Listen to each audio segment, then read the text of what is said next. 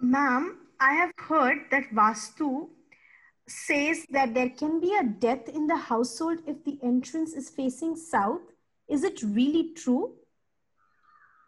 If it was true, then why have any war or prisons? Can we just not have all the enemies and prisoners live in south facing entrance houses?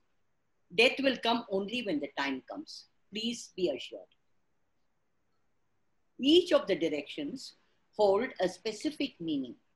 This is known as cosmology, and it is a part of traditional wisdom from different parts of the world. Heroes walk to the east, south, west, and north in myths to access certain gifts from nature. There is no good and bad direction talked about here. The east is the direction to understand the meaning of one's birth and to gain knowledge. The west, the direction to understand growth and health. The north is the direction to understand prosperity, and south, the direction to understand the meaning of death and rebirth, with which comes the benefits of south as a direction of spiritual growth. They are all essential elements for the person to be in balance with the world of inner and outer reality. Oh, just because south refers to death and rebirth and is the direction of Yama, it has been misunderstood and also misinterpreted as causing death, which brings so much fear in people's minds.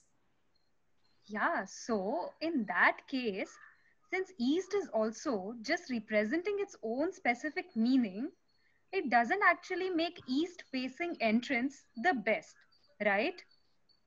It's the default option. By and large, the eastern entrance would bring about good energies because it brings in the light and warmth of the morning sun. That's it's as simple as that. But if the road is on the west of the plot, then entering from the east, which would be the rear of the building, would be a bad decision because it would affect the authority of the inhabitants adversely to enter from the back. Also, it represents a lack of power and ownership. In any case, there is a special calculation that is carried out for a new building.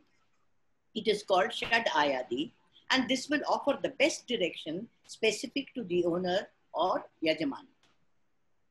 That means since we should calculate the Shada Ayadi for the owners to decide the best direction for their building.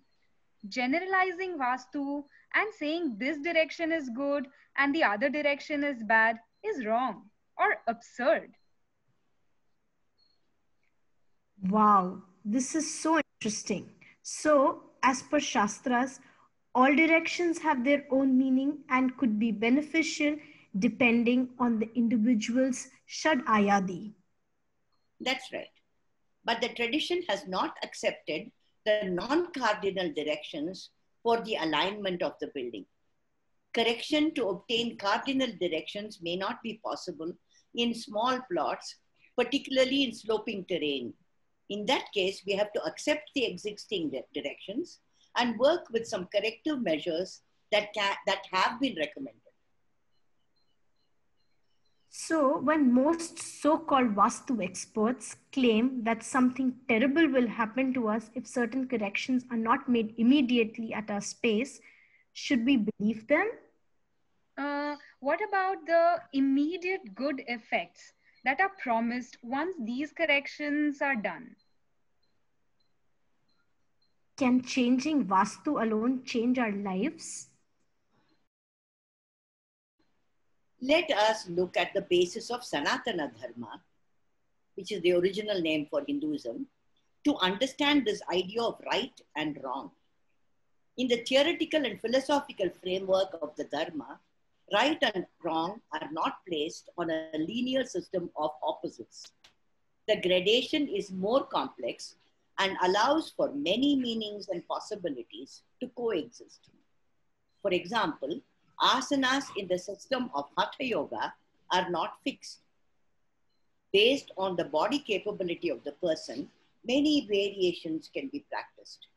Similarly, Ayurveda speaks of understanding the individual prakriti or essential nature to be able to offer treatment through either medicine or diet. There is no single formula to be followed strictly. Unfortunately, in Vastu, the practitioners have created very rigid boxes and use fear to control people. It is very obvious that the Vastu of the house one resides in is one of many factors affecting a person's life. Therefore, projecting it as the sole aspect of negativity and the source of all problems is definitely a money making proposition. There can be certain simple procedures to ascertain that the energies in the built form are conducive for wellness and balance. But just like there is no magic cure, magical cure for illness, there cannot be a permanent state of happiness, however hard we may try for it. By promising this mythical state, people are definitely being misled. This is so true, ma'am. Some Vastu practitioners are creating fear and giving all kinds of strange solutions. Yes, that reminds me. Like I've seen some residences which were painted in fluorescent colors for the sake of Vastu. this too is a new age gimmick. The traditional palette was Panchavarna or the five basic colors red, yellow, green, blue, black, or Krishna Varna, and sky blue. All these colors were made with natural materials and were therefore very healing to the space. The houses were whitewashed, and sometimes turmeric powder was added to the lime wash, and a beautiful golden color was given to the walls. Moreover, these colors were used sparingly in the residences of people as either borders or murals and frescoes. Only in the temples, these colors were used on walls, vimana, and gopura. Using bright colors indiscriminately, and that too made of toxic chemicals, is not a traditional principle. In fact, it goes against the idea of harmonizing and balancing the dwelling with earth energies. Hmm, wow. That is so true. Most times these structures stand out like sore sights, destroying the harmony. Yes, surely these colors look ridiculous, but what about the placement of rooms? Ma'am, like, does the kitchen have to be only in the southeast? And is it must to have the master bedroom in the southwest? Why do people insist on having an opening or door in the northeast? Huh. Unfortunately, these are also unnecessary rules that have been fixed in the built form by the practitioners. The Shastras or texts have been written in various parts of the country and have specific reference to the terrain, thermal conditions, water tables, and wind rain patterns of the locality. Not understanding any of this and applying simplistic formulae to every context is foolish as well as ineffective. One of the primary statements of the Vastu texts is to encourage the designer to become familiar with the environment and to design accordingly. Therefore, the placement of rooms has to be in accordance with the local rainfall, heat in the summer, wind directions, and water tables. For example, heavy rainfall areas like Kerala usually had their kitchen in the northeast with the well next to the kitchen. This geographical region also recommended the southwest to be higher because of the southwest monsoon, and it would have lashed into the building otherwise. In general, the location of facilities will change based on the direction of the entrance, light and wind patterns, nature of the surrounding land, and the neighborhood.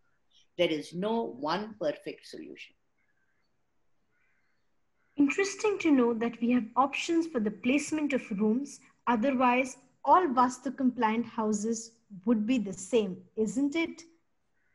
So, what about the water sumps, septic tanks, and bathrooms then? A point to remember here is that in the traditional house, toilets were kept outside the main building to its rear bathing rooms were accepted within the built form. The reason is very simple and practical. Dealing with the effluent would have been complex and may have caused contamination of the water table. The location of water, sewage would have to be in relationship to the natural slope of the land to facilitate the storage of rainwater and well water. Sewage was naturally recommended to the opposite side of the water source. Once again, northeast for water would have been the default location when many options are available. Wow. This means there are actually no such rules for placement of toilets as being suggested by Vastu experts. Are these some sort of marketing techniques then? Indeed. It is quite an upsetting thought that this is happening at the expense of the reputation of our own tradition. These so called small myths are making people perceive thousands of years of our ancient wisdom in a negative way. But could that also mean that these texts are outdated and insignificant in the present day and age? Um, I wouldn't say that. The principles and philosophy enunciated in the texts, as well as in the living examples of residences, palaces, warehouses, schools, choultries, villages and towns, and many others, show us the appropriateness of the design and construction techniques. Who amongst us hasn't marveled at the beauty and comfort of a village house? What is important is to break up the components and understand the underlying order or harmony. Then it is possible to apply these principles to changing times and contexts. Amazing. So, Vastu is rightly still very relevant in our, our times. We just need a proper study and understanding of these principles. Perhaps it needs to be seen as a science which speaks about a way of life and practiced much like yoga, I suppose. That is true. The science and principles of Vastu Shastra is large and all encompassing. Our intention at Ritambhara is to teach people the traditions of Vastu and yoga and to remove the fear inducing impact of the current teaching styles of these wonderful traditions. We welcome every kind of student to participate in our learning programs.